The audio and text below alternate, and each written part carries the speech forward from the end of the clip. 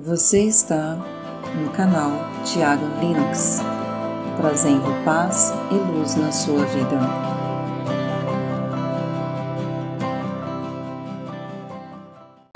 Oi pessoal, meu nome é Thiago, que eu falo do canal Thiago Linux.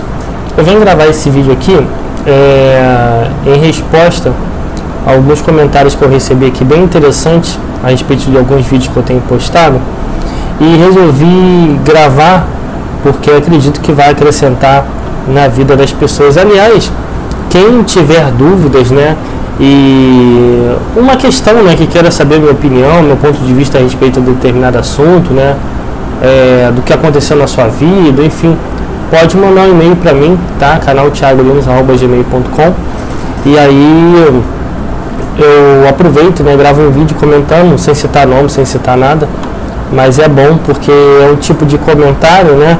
É um tipo de situação que pode ajudar outras pessoas também, né? Então vamos aqui de maneira objetiva, né?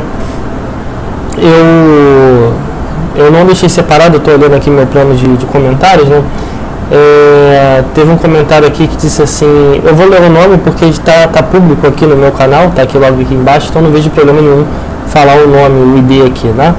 É, você disse tudo. Passei quatro anos com uma pessoa e foi exatamente isso, nos mínimos detalhes que aconteceu. Eram muitos elogios e falsos amigos e parentes dela. De, do nada começamos a parar de nos entender, nos separamos de vez. É, existe muita inveja, entendeu? Infeliz, o, o relacionamento, né? Ele deve ser protegido a todo custo, né? Ele deve ser vivido ali entre, entre o parceiro e sua parceira, tá?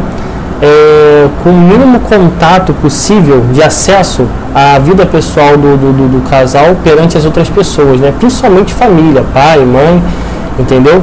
É, infelizmente, né, quando um casal né, que é bem sucedido né, começa a crescer evoluir e as pessoas estão vendo, né, as pessoas em geral não ficam felizes com o crescimento das outras. As outras pessoas gostam de ter controle. E aí gera inveja, manipulações para que esse casal se separe mesmo. Isso acontece a todo momento. Então, já sabendo disso, né, é, a minha sugestão né, que realmente, quando tiver um relacionamento, que, que é, seja o mais preservado possível das amizades. Não que o casal não tenha que ter amizade, contato social, não é nada disso. É que a vida do casal deve ser preservada ao máximo. E até mesmo as felicidades e tal deve ser cultivado apenas um com o outro, para que não possa despertar né, inveja, nenhum sentimento negativo das pessoas que estão vendo, tá bom? É, vamos lá, deixa eu dar uma olhada aqui em outro comentário. Teve aqui comentário do UVB. Cara, é, tu deu um ensino completo sobre o verdadeiro perdão em 10 minutos. Pedir perdão para Deus pouco custa. É difícil perdoar quem falha contra nós.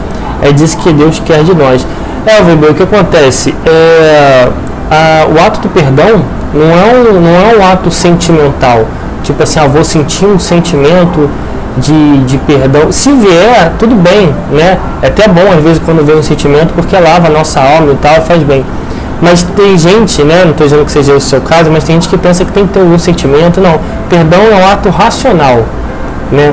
E somente quem tem a coragem, quem tem a intenção de pedir perdão, é quem é, justamente é, tem o espírito do Evangelho, o espírito de Deus sendo manifestado dentro de si mesmo, tá bom? Então perdoar sempre, perdoar você em primeiro lugar, perdoar tudo, perdoar todos. E outra coisa, perdão, pedir perdão, não quer dizer que você, vou repetir né, o que eu já falei no vídeo lá anterior, não quer dizer que você vai voltar a tomar café com a pessoa, né?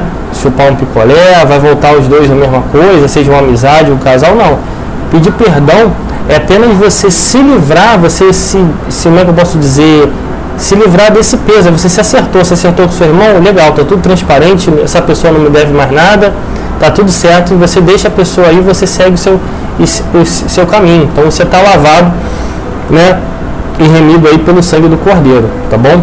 Perdão é, um, é, um, é uma das coisas mais libertadoras que tem. A tua vida, sem perdão, tua vida não vai para frente financeira, começa a dar tudo errado. Você não sabe, você entra numa melancolia, uma tristeza, uma depressão absurda, você não sabe, você põe muita força, e por mais que você coloque tudo em força, bota muita força, às vezes você usa a lei de atração e nada acontece, parece que nunca deslancha, porque está faltando perdão. Entendeu? Às vezes está faltando perdoar pai, mãe, enfim, e perdoar a si mesmo em primeiro lugar, entendeu? E perdoar as outras pessoas, né? É, por isso que o perdão é, é, é libertador, né? Quando eu aprendi essa, essa lei do perdão, a minha vida realmente começou a decolar em todos os sentidos, né? Perdão é primordial, principalmente o perdão e o amor próprio, né? E, e, e aliás, é, é partindo do perdão a si mesmo que você tem a força e a energia de perdoar ao teu, ao teu próximo. Vamos lá.